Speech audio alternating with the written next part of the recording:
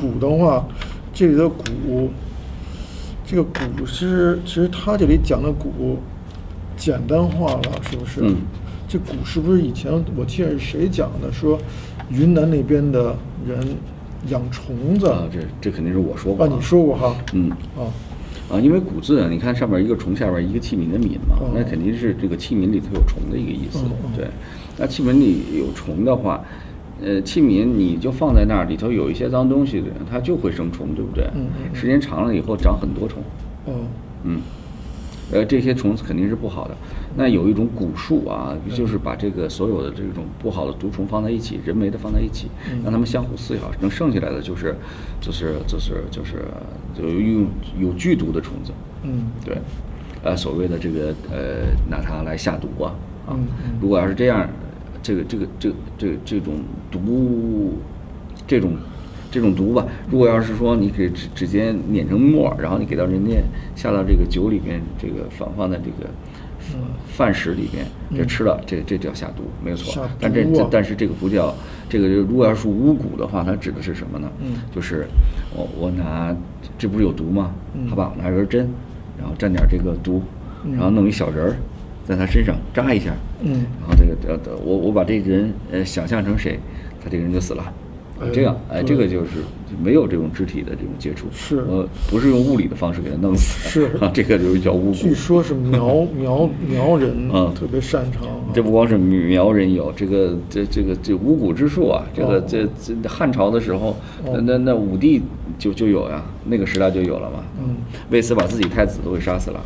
哦，就说这个毒啊，就是蛊是有毒啊，不是一个简简单单的而是一种一种法术吧？法术。对，就借这种毒虫来行一种法术，叫巫蛊啊。那就看到这个蛊卦不是个好卦了。哎，但是不是？哎，你看这个蛊卦上面是有元元亨利蛇大川，先甲三日，后甲三日。嗯，这个从卦名上来讲的话，就是喂，本来这应该凶啊，这个为什么变断吉呢？嗯哎，但是呢，元亨肯定是吉的，对不对？嗯元亨好，这个我们讲过元亨利贞是吗。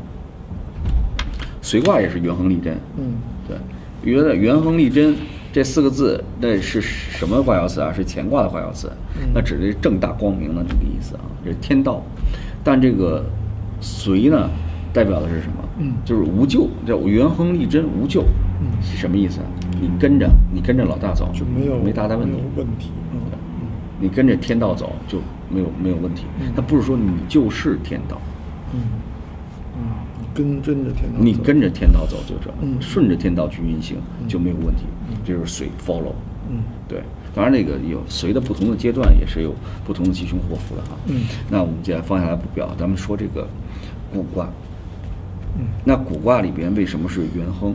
这里边啊，这个所谓的这个古，呃，古人说，比如说乱臣，你说乱臣是不是坏人？乱臣，他在作乱，他在这个捣乱的话，是吧？那应该他是没起好作用。那肯定是乱臣，肯定是贬那 negative，肯定是贬义词，对不对哦？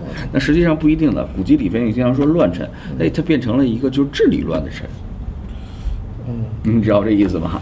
那蛊呢也是这意思。那蛊呢，这里边是，呃，蛊是不好，对不对？蛊是这种迷惑啊，这个，呃呃，这个是这个行，呃，就是蛊惑。所谓蛊惑，不是说大家青少年在这个蛊惑了，被蛊惑了，变成蛊蛊瓦杂呀嗯，这是那个对啊，成了那个脑子里，他不是说被人下蛊了嗯，他实际上脑子里头沾染了毒品了。嗯是不是这意思？他信了邪了，呃，跟了黑社会了，跟了跟错老大了，这个意思嗯。所以这个这个叫蛊蛊惑，那那他那个怎么好呢？怎么好呢？就是就是把你这个蛊啊从蛊里边矫正的，矫正了，对，也是蛊。哦，那他这他这个这个事情它有两面性啊，对。嗯嗯，这个卦里边说的是我怎么把你矫正过来。矫正过来其实矫正过的这个矫正的这个过程是好的，嗯。是元亨的，嗯。是立涉大川的，你还可以走啊，你还可以先甲三日，后甲三日是什么意思呢？嗯。就是甲是什么？甲乙丙丁戊己庚辛壬癸，这是天干，是前三日。是一个第一个，对吧？哦哦？那就是说甲是一个起点，嗯。对吧？一个一个事物循环到一个阶段的一个起点，嗯。这个起点呢是前后，嗯。对，都是非常重要的。嗯对，这个里边呢是一个治理的一个过程。嗯，对，这个在这个彖传里面说啊，嗯呃，中则有始，天行也。对，中则有始。呃，就就是要治理的时候，天甲的呃这个前前三天后三天这个阶段的这个原来的，就是一个阶段的过去，就是最后的那个嗯那那那段时间嗯和他开始的这段时间都是有股的，从最后的开始啊，对吧？一一个一个阶段，嗯咱咱不好拿这个，呃，中国政府举例子啊。那我就说，咱们换一个，换一个，我想想啊，这个这个这个，呃，直销，嗯嗯好吧，做做直销的，嗯对吧？那那个你在你在开始的时候可能是没有太大问题，那是挺好的一个销售的一形式，一种方式吧。比如做安利的啊嗯，是吧？嗯，全世界都做的挺好的，跑到中国来，对吧？然后你在这个在做的过程当中，开始的时候是没问题，到到后来的时候就出现问题了，因为就是这种直直销这种形式啊，被很多人所 copy，自己建立了自己的一些直销的一些品牌，对吧？